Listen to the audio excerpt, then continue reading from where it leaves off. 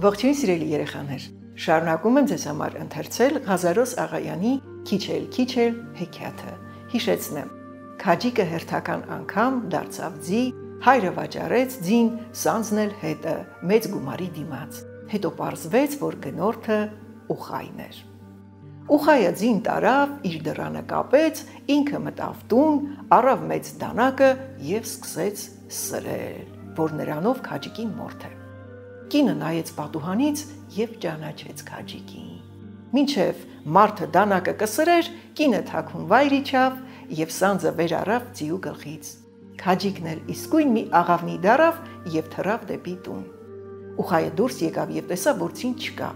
Աչքով նկավ աղավնին եւ իսկույն ինքն էլ մի բազե դարավ եւ ընկավ աղավնու հետևիցը։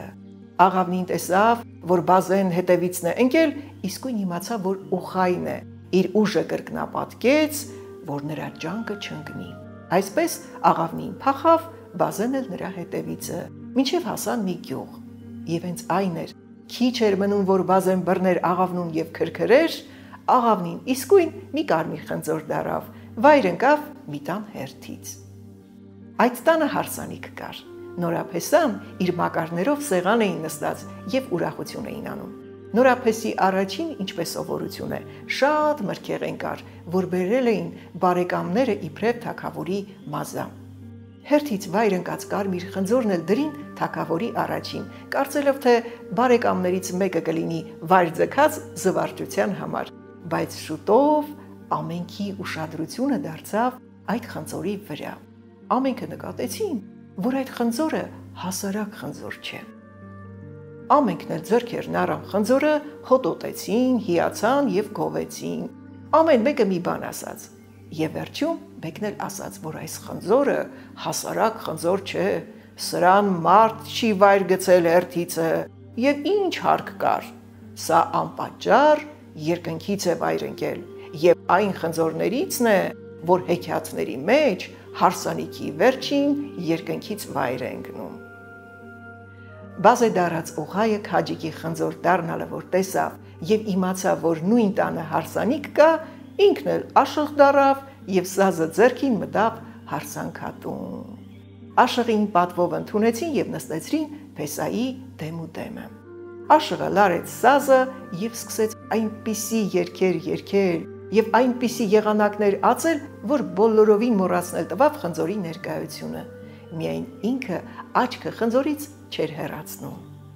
Վերջը, երբ որ ուզում էին նրան մի լավ պարգև տալ, այսինքն նորահարսի գործած մի ջուղթ նախշուն գուլպա եւ մի ջուղթ կարմիր տրխատան, աշղը վեր չառավ եւ խաղով հասկացրեց, որ իր ուզածը միայն կարմիր խնձորն է։ Նորափեսան ճուզեց աշղի խաթրը կոտրել, վեր առավ խնձորը, որ տա իրան։ Բայց խնձորը վայր ընկավ ձեռքիցը եւ մի բուր կորեկ դառնալով փռվեց հատակի վրա։ Ամենքը յետ-յետ քաշեցան, որ տեսնեն, այդ ինչ հրաշք էր։ Արդյոք խնձորն էր, որ կորեկ դարավ, թե խնձորը մի աման էր կորեկով լիքը։ Այդ միջոցին հանկարծ մի հավլույս ընկավ եւ սկսեց կտկտալով հավաքել կորեկը։ Հենց որ բոլորն արդեն վերջացնելու վրա էր, կորեկի մեկն ասեղ դարավ եւ թռավ ցծվեց նորահարսի կրծքալի մեջ։ Հավն էլ իսկույն մի բարակ թել դարավ եւ թռավ անցավ ասեղի անցքը եւ ուզեց ասեղը իր հետ թրցնել, բայց ասեղը հաղթեց թելին եւ թռավ ընկավ կրակի շեղջի մեջ։ Թելը կրակումն այրվեց իսկույն, իսկ ասեղը դուրս թռավ եւ դարձավ մեր քաջիկը եւ զարմացրեց հանդիսականներին։ Թեպետ քաջիկն էլի քաջիկ դարավ եւ ազատվեց ուղայից, որ արդեն մոխիր էր դարձել բայց ինքն էլ այրվեցավ բավականին եւ ոչ միայն իր առաջվան գեղեցկությունն ու թարմությունը կորցրեց, այլև իր ձեռք բերած շնորհքը, իր սովորած արհեստը։ Էլ չկարողացավ մի ուրիշ բան դառնալ։ Նրա բոլոր ասելիքները, բոլոր աղոթքներն ու թալիսմանները կորցրին իրանց զորությունը ուխայի այրվելու հետ։ Շատ ցավում է մարդ, որ մի բան է կորցնում, թեկուս այդ բանը շատ փոքր լինի Երեխան, երբ որ երազումը դանակ է գտնում եւ մյուս օրը տեսնում է, որ գտած դանակը չկա, սկսում է լաց լինել։ Ուրեմն ինչքան կցավեր քաջիկը, որ ոչ թե երազումը գտած դանակն էր կորցրել, այլ իր շնորհքը, իր բոլոր ուսումը, այն էլ այնպիսի ուսում, որ ոչ ոք չգիտեր, բացի Իրանից։ Նա շատ դարդարավ եւ վերջը մտածեց, որ գնա ուխայի կնոջ մոտ, պատմե եղելությունը եւ նորից ձեռք բերե յուր գիտությունը։ Այս մտքով ճանապարհ ընկավ դեպի ուխայի բնակարանը, բայց ել ոչինչ չկար։ Ամեն ինչ ցնդել էր օդի մեջ ոչ մի հետք, ոչ մի նշան անգամ չէր մնացել։ Քաջիկին թվում էր, թե ուրեմն ամեն ինչ երազում էր տեսել, դանակ գտնող երեխայի նման, բայց չէ։ Նա աշկարա տեսնում էր իր այրված կաշին, իր չեչոտված եւ այլանդակված կերպարն ու կերպարանքը։ Այսպես դարդանելով մեր քաջիկը ճանապարհ ընկավ դեպի ուրիշ երկիր, որ գուցե կարողանա մի նոր արհեստ սովորել եւ իր այրած կաշին առողջացնել։ Շատ գնաց թե քիչ, Աստված գիտե։ Վերջը հասավ մի ծովեսրիա քաղաք։ Այս քաղաքում նա լսեց, որ ծովումը մի կղզու վրա մի երևելի բժիշկ է կենում։ Եվ նա ամեն ցավի դեղ գիտե, ամեն ցավ բժշկում է։ Նա շաբաթը երկու անգամ դուրս է գալիս իր նավակով եւ ամեն հիվանդի ասում է, թե ինչով պիտի բժշկվի, Շատ անգամ դեղերն էլ ինքն է տալիս եւ ոչինչ չի առնում, ոչ դեղի եւ ոչ բժշկության համար։ Այս լուրը շատ ուրախացրեց Քաջիկին։ Մյուս օրը բժշկի դուրս գալու օրն էր։ Քաջիկը գնաց ծովապ եւ մյուս հիվանդների հետ կանգնեց։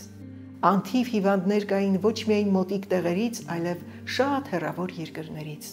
Շատերը մերձիմա ընկած էին մահիճների մեջ։ Նրանց բերել էին падգարակներով։